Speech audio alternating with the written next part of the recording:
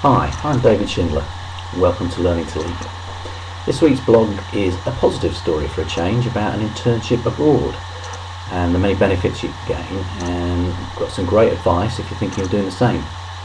Uh, unpaid internships are a bit of a political hot potato in the UK right now and the behaviour of some employers and politicians undoubtedly isn't helping.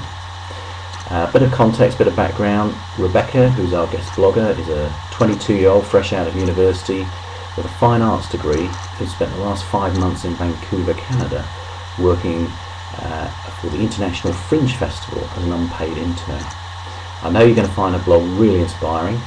Thanks for listening. See you again soon.